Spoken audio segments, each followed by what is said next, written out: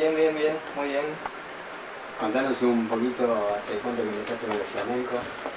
Y empecé con el flamenco alrededor de cuatro años, cuatro años y medio.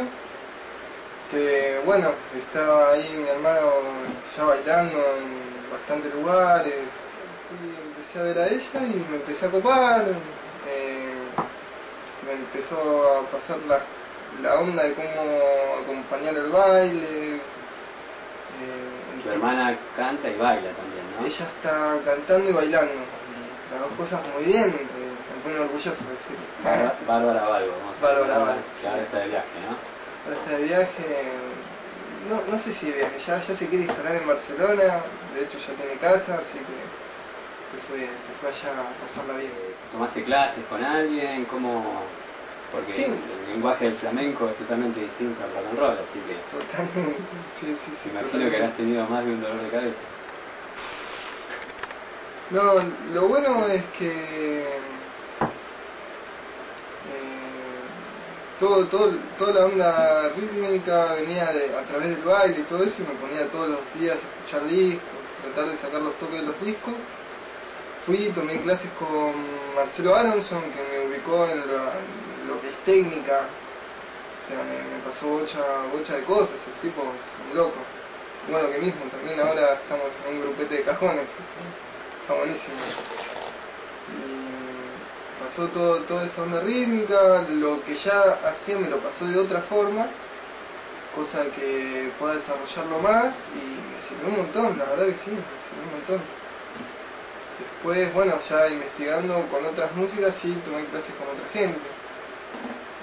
No sé, por ejemplo, con Jake Welch en la onda afro, este, bueno, con un baterista que tocó también con Salinas, con el Gordo Massa en un tiempo, se llama Freddy Sobastúa Barrios, que me pasaba todo ejercicios de tambor y, y demás, cosas de siempre tirar para adelante. O sea, te enriqueces de otros ritmos aparte de... Sí, sí, sí. Sí, es que mm, está bueno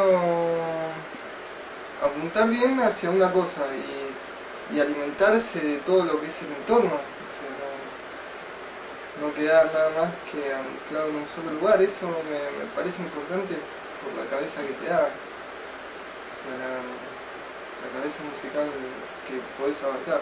Buenísimo. Actualmente estás tocando, se te puede ver en distintos tablados, que tenés una agrupación fija y, también acompañás a distintos artistas, ¿no? Sí, eh, en este momento estoy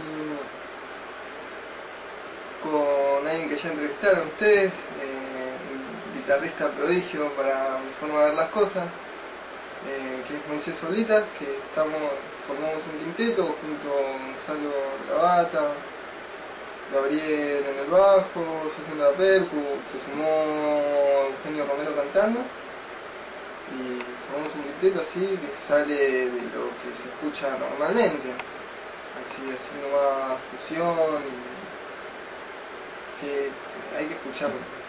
sí. Los invitamos que escuchen en, en la página, hay una sección de música que está el demo que grabaron el año pasado, ¿no? Sí, lo grabamos el año pasado así, corriendo, pero bien, bien, salió, dentro de todo salió, salió. Es Sí, suena, aceptable. suena- suena muy bien. Gracias. ¿Qué, mm, qué percusionistas escuchás? ¿De, de dónde te nutrís para, para hacer música, para el flamenco en sí? Ahora estoy loco con un par. Eh, sí, uno es el Giovanni Hidalgo, que está, está loco, ese tipo, es un conguero que, que da miedo. No sé, me bajo videos de él, tanto explicando como tocando, para sacarle lo que hace. Es, buenísimo, ¿no? Uno sé ese, que mismo hasta el tipo no es del flamenco, pero tocó con Chicuelo, con el Poveda. Está, está muy lo que hace. Después ya enfocándome al flamenco, lo máximo es el Piranha, eh, Israel Suárez, el hermano Ramón Suárez, que sería Ramón Porrino, eh,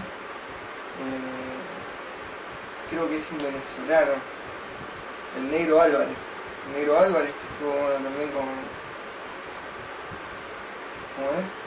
Con Joaquín Cortés y demás.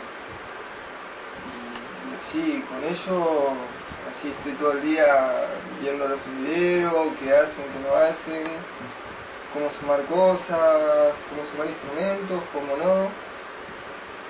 Este, a la forma de tocar, qué herramientas utilizan en técnica y demás.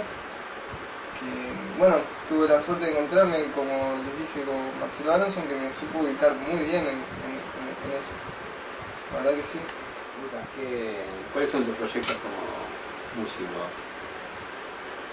Primero, crecer, pero crecer al mismo tiempo con la cabeza musical conjunto como persona. O sea, son dos cosas que se llevan de la mano y más que nada pasarla bien con gente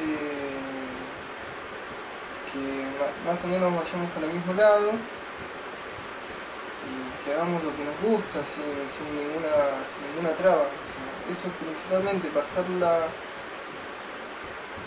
Lo principal es pasarlo bien haciendo lo que nos gusta. O sea, ya lo demás viene solo. digamos. Cuesta. Nadie, nadie dice que no. Lo demás puede venir solo. Bueno, Lucas, muchas gracias por la entrevista. La verdad que gracias a ustedes por la entrevista y aguante, levante flamenco.